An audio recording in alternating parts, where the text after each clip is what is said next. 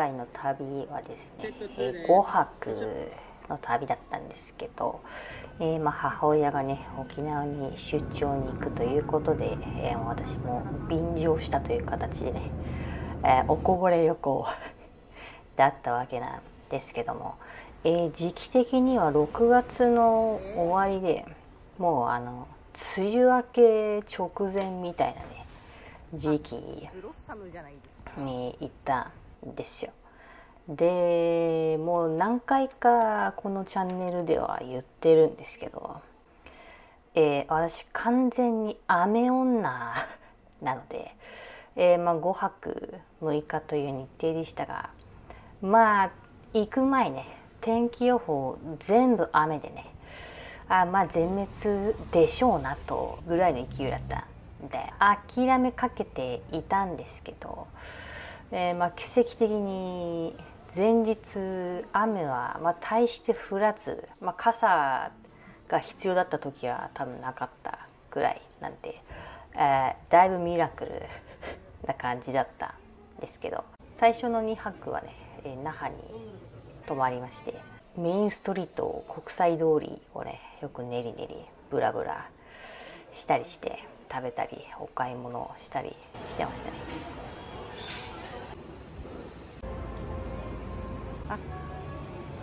沖縄の子。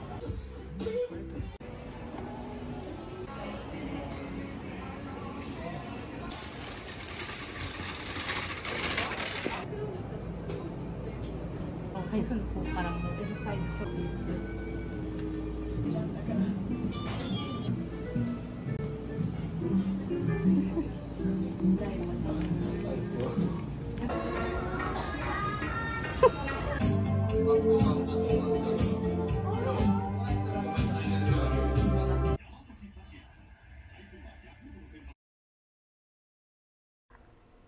今回いろんなものを食べましたが、えー初日の夜のなんかヤギ尽くしみたいなお店と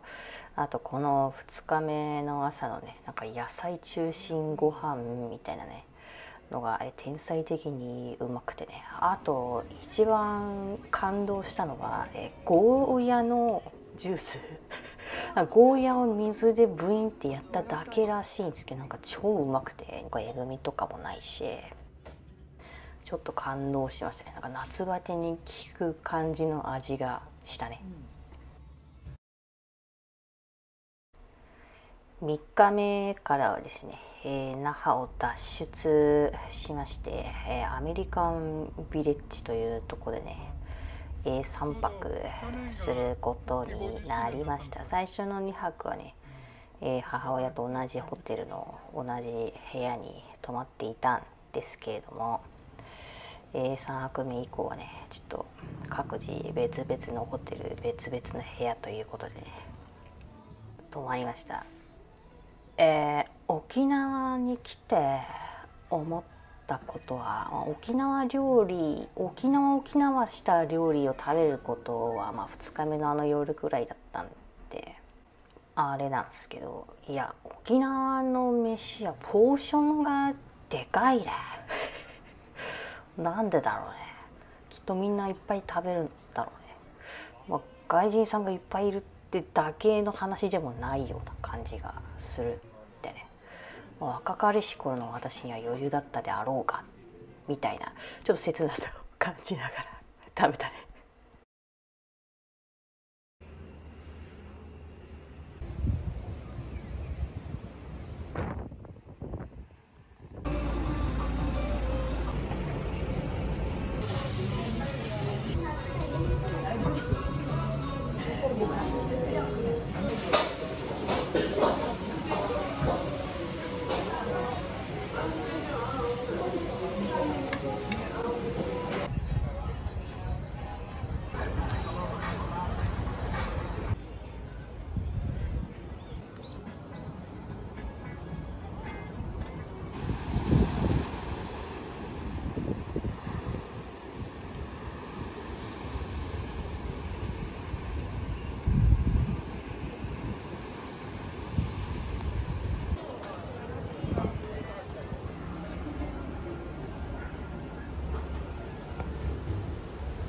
1回ただいま。アメリカンデポットさん、えー、2階にですね古着コーナーがありましてちょっとね撮影禁止だったんで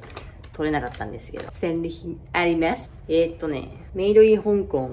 100%シルクのワンピースが買いました。ちょっと着てみようぜ。ちょっ。と全身映んないかな。耳だけで肩がねポワンってなってます。これはあのー、肩パッドとかじゃなくなんかこういう形状になってます。ボタンがねここ1個取れててこの分だけね。パッチンの片割れがこっちにないとか。たまにちょっと虫食いっぽい穴があったり。するんですけどいい感じです。お直しでこのボタンを復活してもらえるかちょっと聞いてみたいとこですね。ちょっと背中にねあの余ってる布があるんで それでなんかどうにかならないかなと思ってちなみにお値段。1500円です。すごくない？今日の戦利品はこんなとこです。そういうのも欲しかったんだけど。よこ。でかいぜ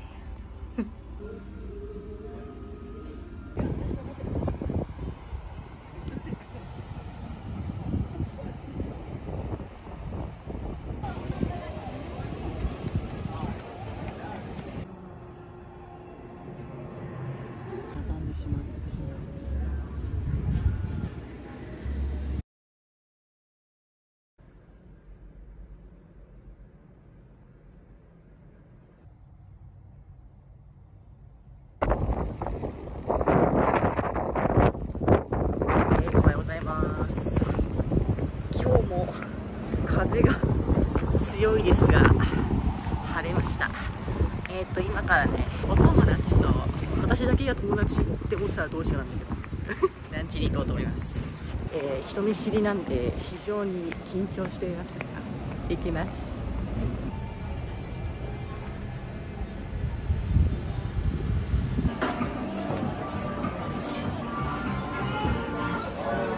思ってた倍でかい分いやなんか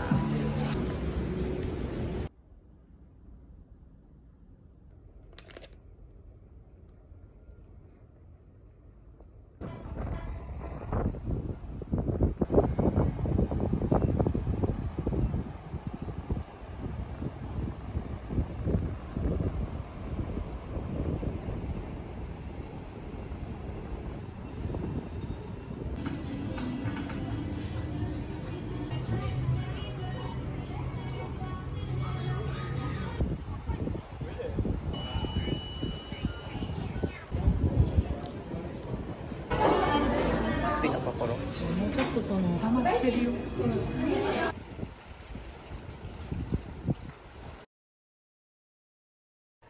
実は今回の旅はとても私にとってなんというかスピリチュアルな え旅になりまして私のについてるガイドさんとね、え絆を大変深めるものとなりました。くしくも。もともと絆は強いしうんそのガイドさんのパワーも強いって知ってるんだけどまあこの雨が降らなかったこともね完全にその人のせいだし なんかどんなことがあっても私は大丈夫なんだなってね理解するような旅になりましたね。そんな私の沖縄旅です。ご覧いただきありがとうございました。